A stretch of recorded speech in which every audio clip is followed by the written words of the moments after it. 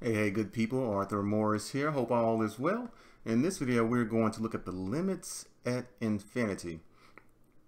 So as you can see from the graph that we have here, uh, we have f of x, the function f of x equals 3x squared over x squared plus 1. So we have a horizontal asymptote. So the limit as x approaches uh, in the limit of the function x as x approaches 3 as uh, is 3 as x approaches infinity. So uh, the farther we go out on this x-axis, this thing gets closer and closer and closer to 3.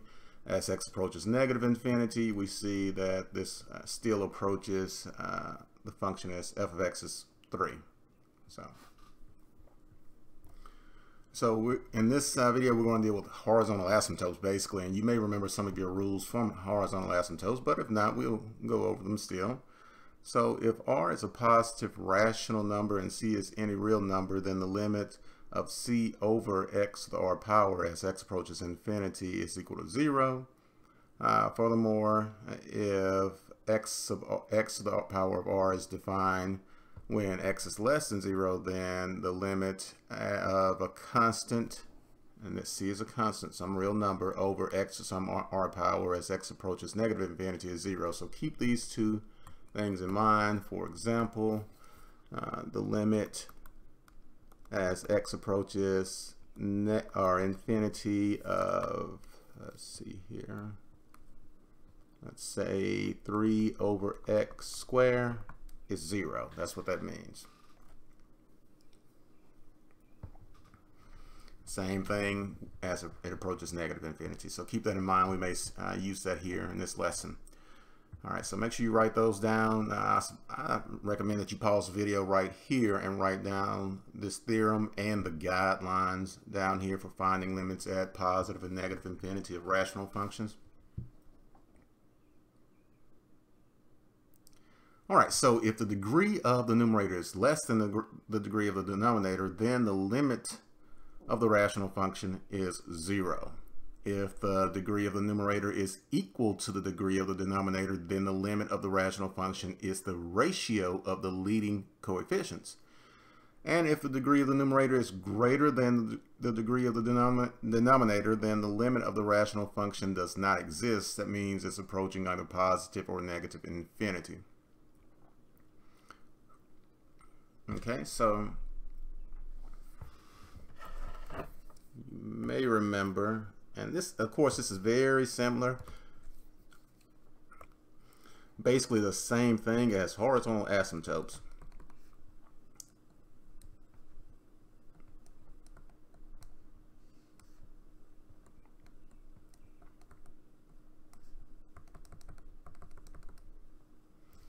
All right, so if we have this function here, then what we're saying is that if n, if the degree of the numerator is equal to the degree of the denominator, then we found our horizontal asymptote uh, to be y equal a to the nth power, a sub n over b sub n, the leading coefficients, the ratio of the leading coefficients, and that is the limit as well.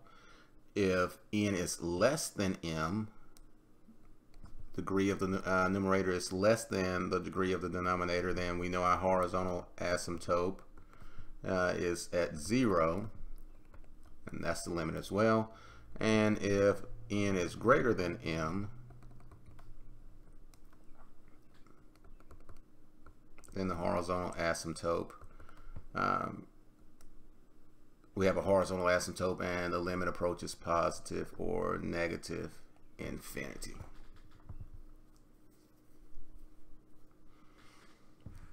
All right, so that's what we have there. So we're going to use this logic here. So for uh, number 15, we want to find the limit if possible. Uh, so I have my numerator and my denominator in descending variable order. So my numerator, my degree is 2. For my denominator, my degree is 3. So that means that my degree in my numerator is greater than my the degree in my uh, it's less than sorry less than the degree in my denominator therefore from our rules up here my limit equals 0. All right, for b, the degrees are the same. n equals m.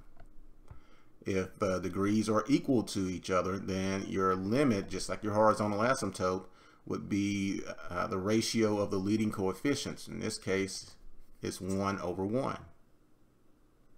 So just like finding your horizontal asymptote, uh, your limit is the same thing. So y is equal to 1 over 1. Therefore, my limit equals 1. Limit of that function equals 1 as x approaches infinity. All right, part C, the limit of x squared plus 2 over x minus 1 as x approaches infinity. We see that n is greater than m, so we know that this thing either approaches positive infinity or negative infinity.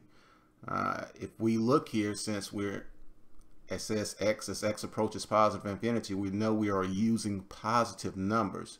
So you have to think about this. If I'm looking at my expressions here, my leading coefficients, both of those are positive. If I'm plugging in positive numbers, these are going to continue to get larger and larger and larger and stay positive. Therefore, my limit, although it does not exist, if it asks, does it approach positive infinity or negative infinity, it, approach it approaches positive infinity. So the limit does not exist, but it goes towards positive infinity. All right, number 17. You may want to rewrite that.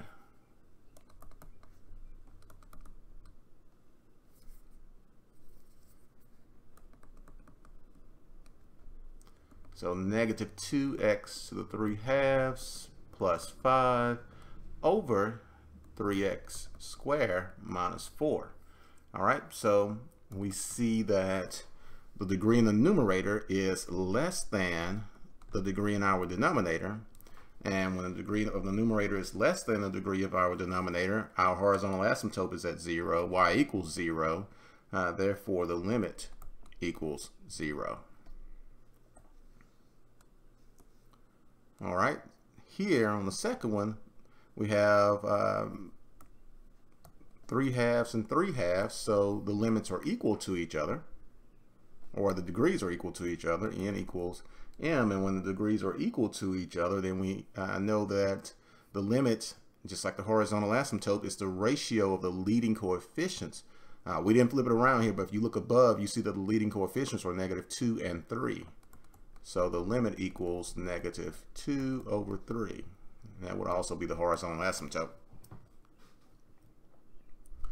Alrighty, and C, part C here, we have uh, n is greater than m, so we know that um, that this thing is either approaching positive infinity or negative infinity. So as x approaches, we know the limit does uh, the limit does not exist, but we can tell whether it's going towards positive infinity or negative infinity. So it says as x approaches positive infinity, that means we're using positive numbers to substitute in for x if you look at your leading coefficients, so if we go back up here to the top here and we look at our leading coefficients, we have a negative over a positive. So if we're plugging positive numbers in uh, for these x's, then we will continue to have a negative over a positive, and a negative divided by a positive is negative. Therefore, although the limit does not exist, if it asks us does it approach negative infinity or positive infinity, we know that it approaches negative infinity because if we substituted positive numbers in for x, we will continue to get a negative over positive and negative divided by positive is negative.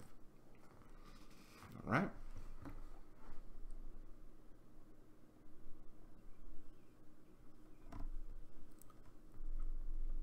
All right, what about number 20 here? Uh, now, you can also look at these as separate terms the limit of each one of these, which is what I'm going to do here since this is not in one fraction. So the limit, and we looked at this earlier, I told you to make sure you uh, wrote this down. The limit as x approaches negative infinity of a constant over uh, variable raised to a positive exponent is equal to zero. So that goes to zero. So the only thing that we're looking at now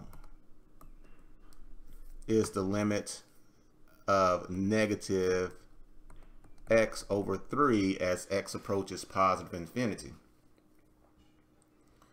All right. So we know that the degree in our numerator is greater than the degree in our denominator. So we know the limit does not exist, but let's determine what does this go towards negative infinity or positive infinity? Well, the numerator is negative. However, x is approaching negative infinity, so I'm substituting or re replacing x with negative numbers as we go continue to go towards negative infinity. And we know that if I'm replacing x with negative numbers and I have a negative there, then negative divided by negative is positive. That means it's going to continue to get larger and larger, larger, going towards the positive and going towards positive infinity.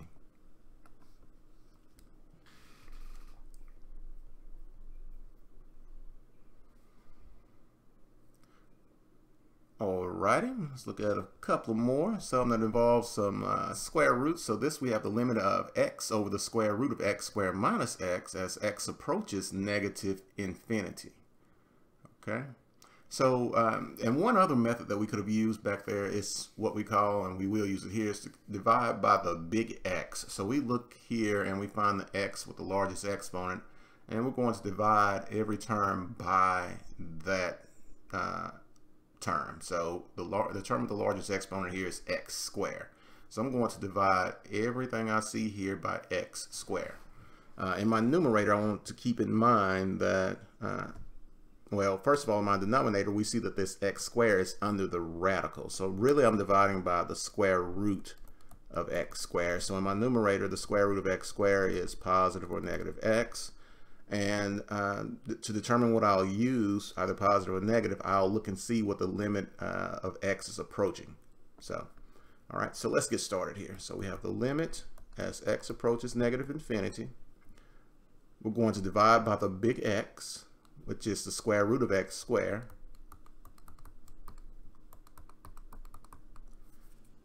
In my numerator, if I divide by the square root of x squared, I'm either dividing by positive x or negative x. So in this case, x is approaching negative infinity, so I'm going to divide by negative x. Okay. All right, now let's start simplifying. All right, so we have uh, x divided by negative x is negative 1. x, the square root of x squared divided by x squared is 1 and uh, we get 1 over x when we simplify x over x squared. Okay. Now what I know is that I can take the limit of each part here so I can also uh, take the limit of 1 over x as x approaches negative infinity. So to when I do that I know that the limit of a number over a variable with a positive exponent as x approaches positive or negative infinity is simply zero. So that goes to zero. All right, so now I have the limit of x uh, of negative 1 over the square root of 1, and we know the square root of 1 is 1. So as x approaches negative infinity, so the limit as x approaches negative infinity we get uh, negative 1 is just going to equal that constant, negative 1. So when you have that radical, and you could have done that with the problems above, you can divide by the big X and simplify and take the limit of each part like that.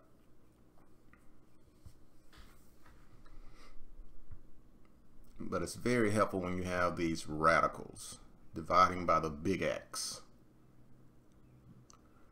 All right, so let's go back up here and look at number 29. We have the limit of 2x plus 1 over the square root of x squared minus x as x approaches negative infinity. So again, we want to divide by the big X. And the big X, the X with the largest exponent is the, is the X squared that's under the radical. Uh, so let's see here. So limit as X approaches negative infinity. dividing by the big X. And in this case, we see again that the exponent X is approaches, approaching negative infinity, knowing that the square root of X squared is positive for negative X. Since X is approaching negative infinity, we're going to use negative X in the numerator. So limit as X approaches negative infinity. We're going 2x divided by negative x plus 1 divided by negative x all over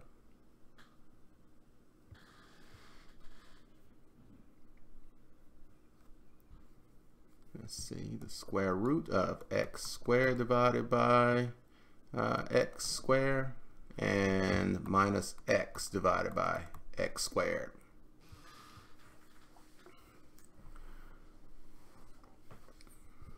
All right, so we know that this plus minus here, plus a negative, uh, we know that the, we can just say minus 1 over x. All right, so if I take, um, start simplifying here, I have negative 2 minus 1 over x, the square root of 1 minus 1 over x, and anytime I'm using the uh, finding the limit as x approaches infinity or negative infinity, then when I see 1 over x or a number over x, then I know that the limit of that is 0. So now I have negative 2 over 1 because those went to 0. And the square root of 1 is 1. So my limit is equal to negative 2. As x approaches negative infinity. Alrighty, good people, make sure you read this section in the textbook. I hope you found this video to be helpful with the example problems, and I will see you on the next one. Thank you.